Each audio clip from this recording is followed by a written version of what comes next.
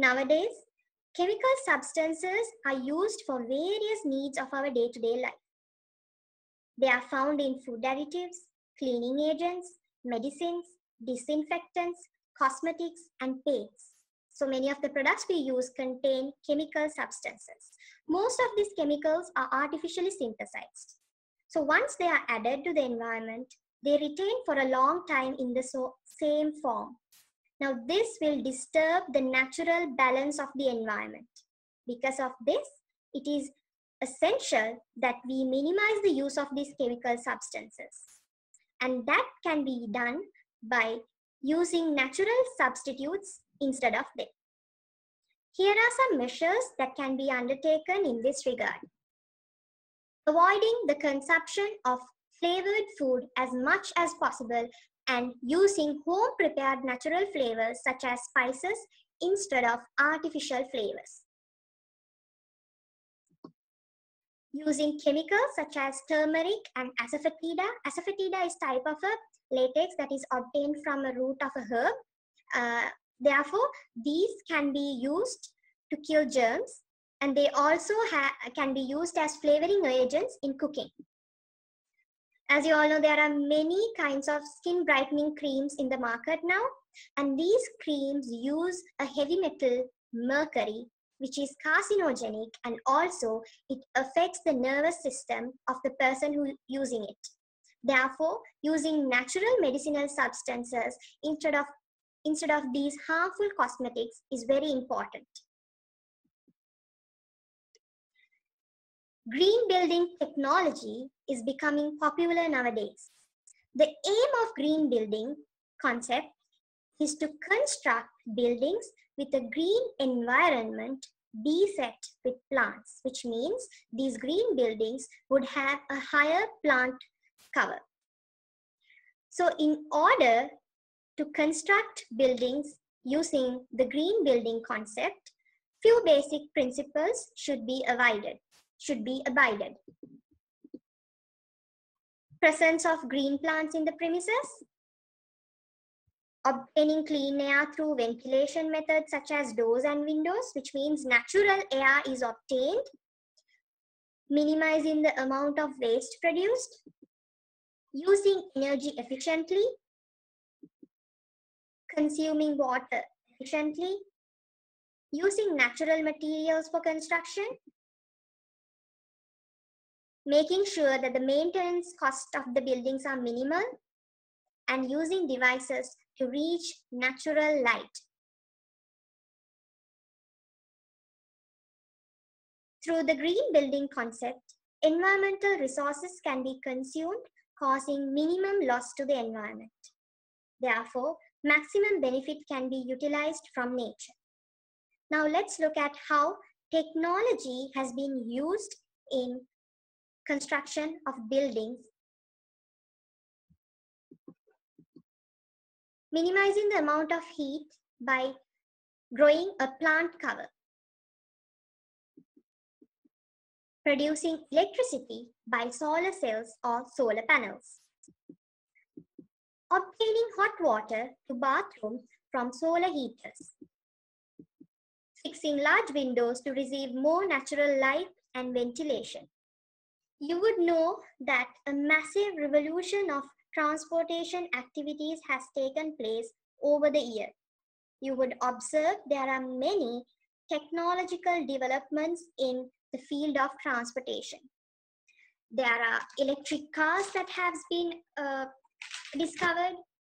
Back then, it was the steam hauled trains and now electric trains are used. There are hybrid cars that have been discovered and also autonomous vehicles are produced.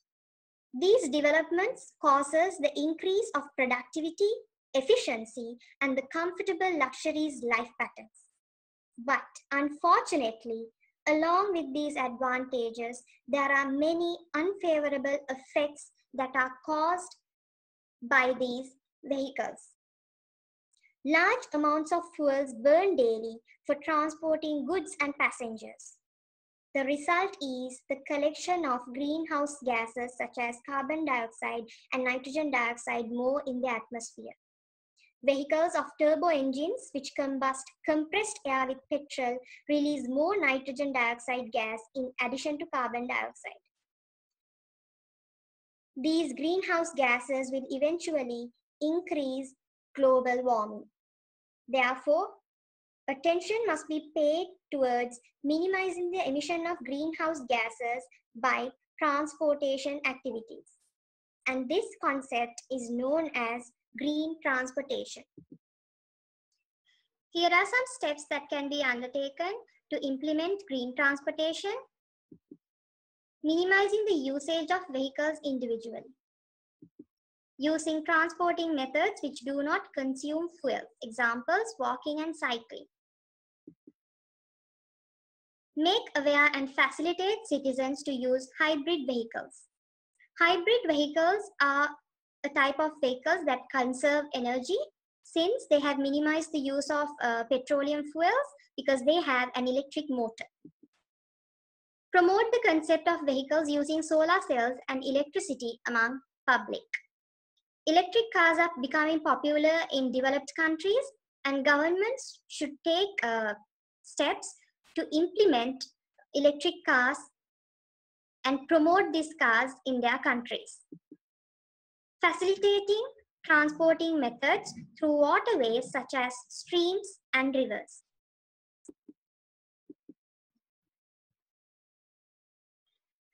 Food mile is the distance over which a food item is transported during the journey from producer to consumer. This depends according to the amount of food consumed per meal and the location where the food is produced.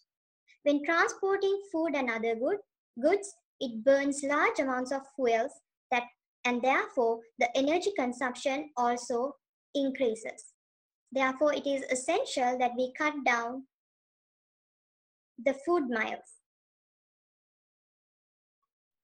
Consumption of local food is one such method in which the food miles can be decreased. From birth to death, every activity of man causes production of carbon dioxide. It can be inferred that there is no human activity which do not cause production of carbon dioxide. And that is why we have introduced ca the carbon footprint. The amount of carbon dioxide released into the atmosphere within a given period as a result of the activities of a particular individual, a production, an activity or an organization is a carbon footprint. Total carbon footprint cannot be calculated precisely as carbon dioxide is produced naturally and it needs more data to calculate. Therefore, the carbon footprint is an approximate value. The amount of carbon dioxide emitted by an individual throughout a year is a large amount and it is being released by people during activities like taking food, drinking, clothing, and occupation.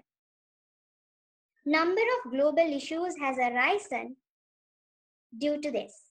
The amount of fresh water utilized in the production or supply of the goods and services used by a particular person or a group is known as the water footprint. For an example, coffee has a large water footprint. Therefore, for each cup of coffee that you consume, a large amount of water is utilized. Other organisms on the earth has no privilege to use environmental resources as we do. Therefore, we have a responsibility to conserve the environment. We have a responsibility to use the natural resources such as water, soil, and air productively every single individual must make a conscious effort to minimize the emission of greenhouses, greenhouse gases so that everybody can contribute to solve global crisis. So let us all become responsible citizens and work towards a better world with clean air, clean water, and clean environment.